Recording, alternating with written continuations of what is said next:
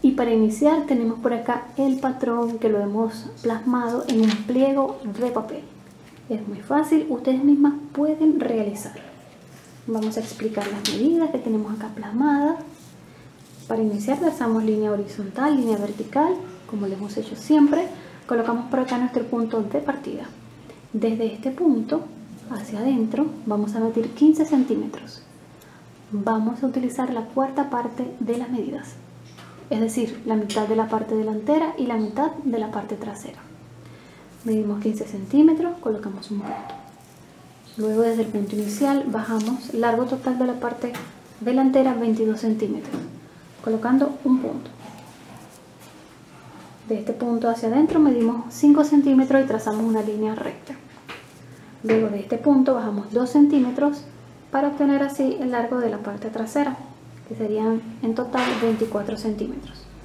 De este punto hacia adentro medimos 5 centímetros y trazamos una línea, al igual que esta parte. Muy bien.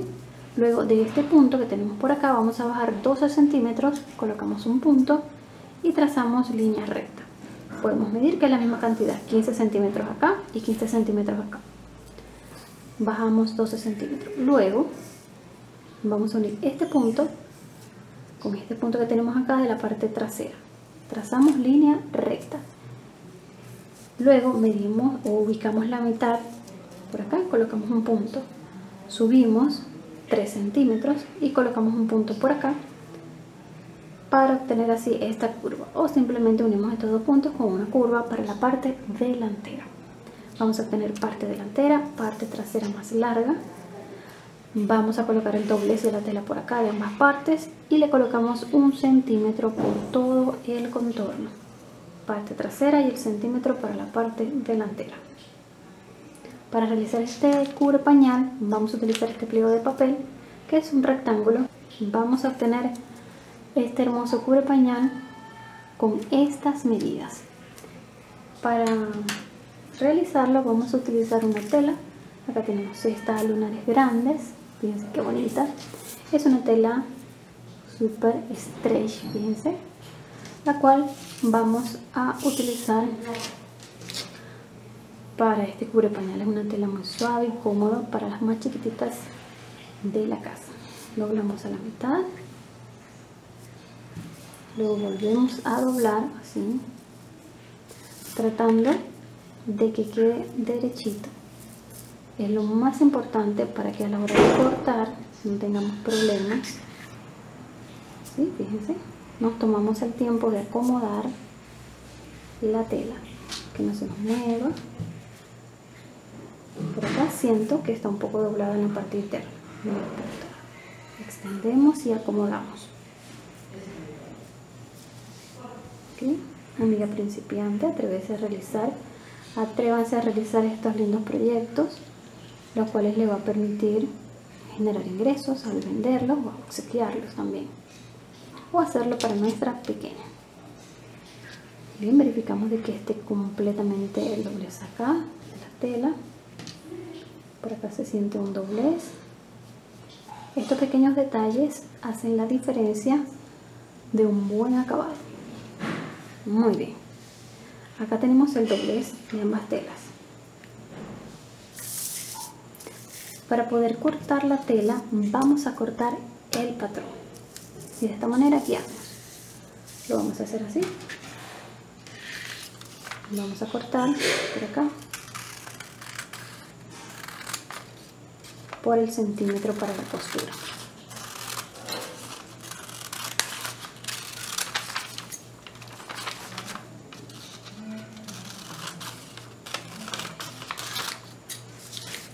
Toma esta parte también vamos a cortar por acá. Por esta parte no lleva centímetros ya que va el doblez de la tela. Muy bien.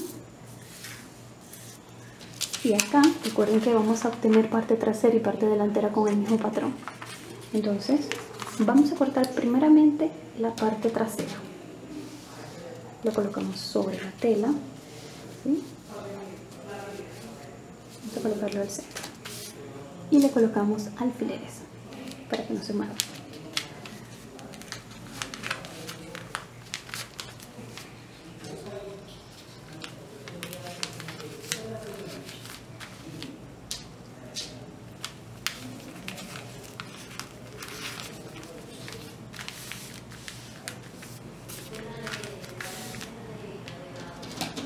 vamos a colocar uno más. Para asegurarnos que no se va a mover el patrón. De la tela muy bien. Ahora sí vamos a cortar.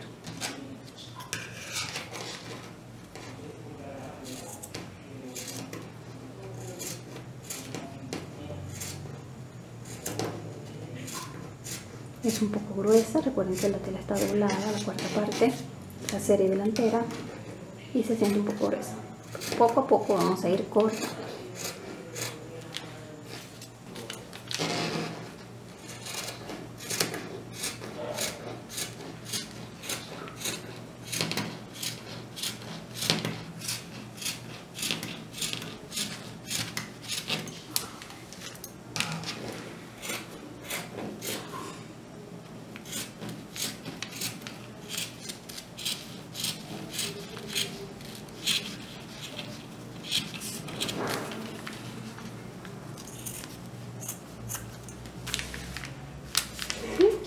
Retiramos esta parte y ahora nos falta la parte superior.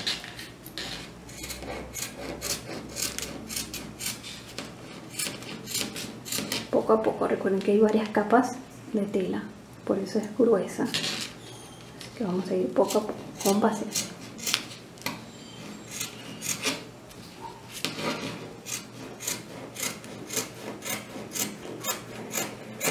muy bien ahí poquito por acá ya. bien ya realizamos el corte de la parte trasera. Recuerden la más larga es la parte trasera. Retiramos los alfileres.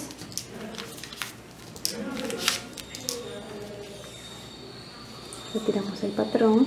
Ahora vamos a retirar una de las dos partes. Vamos a retirar esta. Las dos están cortadas exactamente iguales por ello retiramos una. Y nos quedamos con una sola para transformarla en la parte delantera.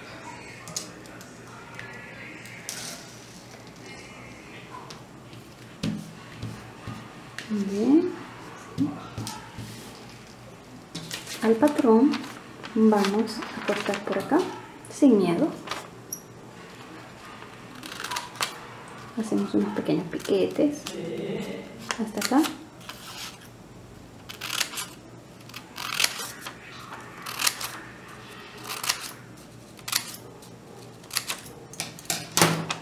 y doblamos hacia adentro hasta el centímetro de costura aquí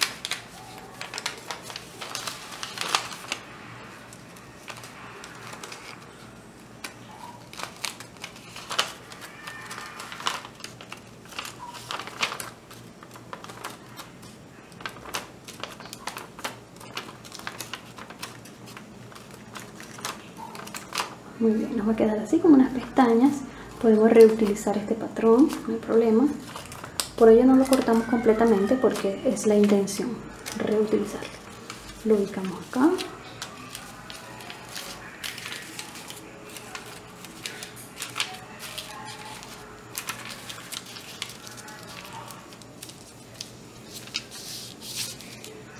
Volvemos a colocar alfileres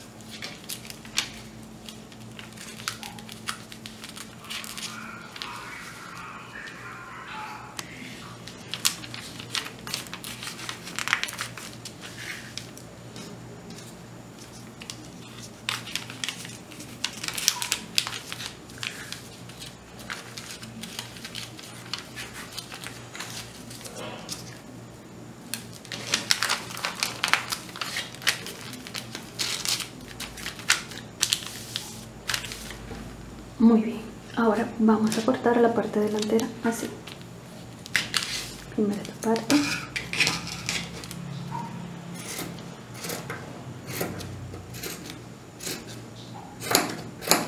Ya tiene el centímetro para la costura, ahora la curva.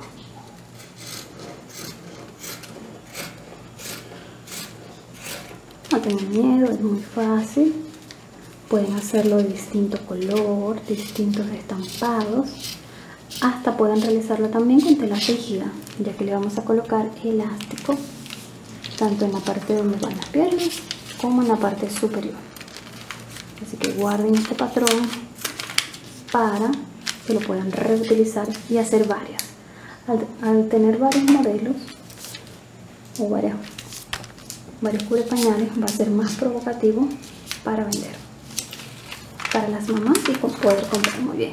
Luego de, de cortar vamos a guardar el patrón. Ya cortamos la parte delantera, la tenemos por acá, ¿sí? Muy bien.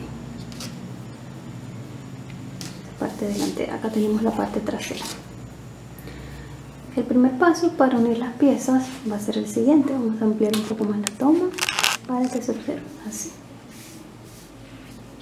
Vamos a colocar esta por acá y sobre esta, dejando las partes principales hacia adentro, colocamos la parte delantera.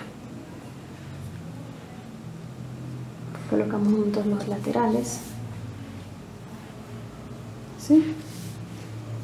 y vamos a realizar costura vamos a realizar costura por acá por laterales costura recta y overlock o zigzag por acá muy bien hemos realizado la costura por laterales costura recta dejando un centímetro y realizamos overlock el paso siguiente es unir la parte inferior ¿sí?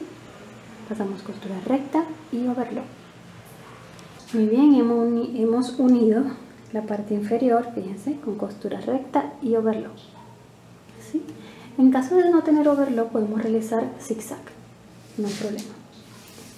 Muy bien, el paso siguiente es realizar overlock por acá, también por acá, también por todo el contorno de la parte superior. Muy bien, hemos realizado la costura con overlock por todo el contorno vamos a cortar los hilos sobrantes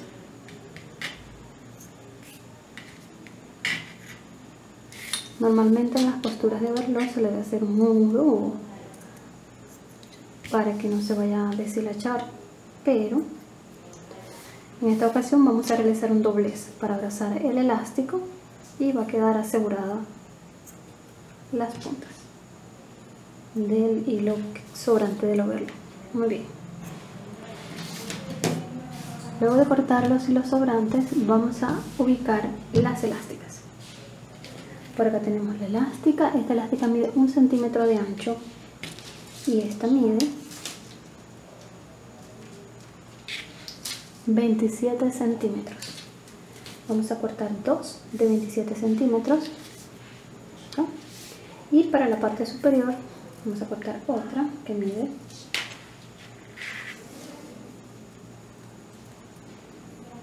45 centímetros.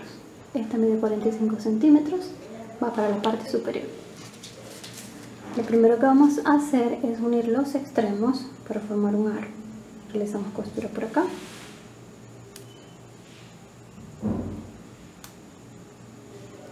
Luego de realizar esa costura y obtener un aro así, vamos a colocarla así. Y abrazamos la elástica. La abrazamos y pasamos costura sin pisar la elástica. El mismo procedimiento de este lado al igual que en la parte superior. Muy bien hemos colocado el elástico acá en la parte de entrepiernas también en la parte superior. Fíjense abrazamos el elástico sin pisar la elástica si pisamos la elástica va a quedar rígida y difícil de estirar pero si la abrazamos sin tocar la elástica fíjense va a estirar suavemente muy bien. Vamos a colocarle un detalle en la parte delantera. Sabemos que la parte delantera es la que tiene esto un poco más pronunciado, la parte trasera es un poco más amplia, más ancha. Vamos a ubicar un retazo de tela, como este, y vamos a realizar unos pequeños plices así. Para realizar un pequeño detalle y identificar, también podemos identificar la parte delantera, así. hacer unos pequeños plicecitos así. Hacer un pequeño lazo. Vamos a realizar una pequeña puntada acá. La aguja y giramos con el hilo podemos realizar también un lazo con cinta por supuesto del tamaño y color de nuestra preferencia esto va a ser solo un detalle para identificar la parte delantera y para que se vea más bonito nuestro cubre pañal.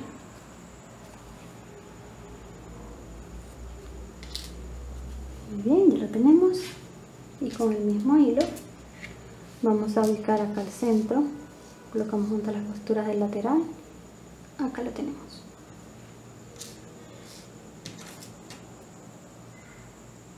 Una puntadita por acá. Y vamos a fijar este lindo lazo acá en la parte delantera. Es muy fácil como pueden ver. Unas pequeñas puntadas. Un remate para que no se suelte. Muy bien. Podemos realizar más puntadas para que quede más fijo justo al centro. Fíjense qué bonito detalle de este hermoso cubre pañal. Este cubre pañal es para niñas de 12 meses. Acá tenemos esto como les he comentado se hacen varios colores varios estampados. Se va a ver más provocativa que tenemos otro de color amarillo súper lindo. Y tenemos otro acá también con tela stretch acá en el lado.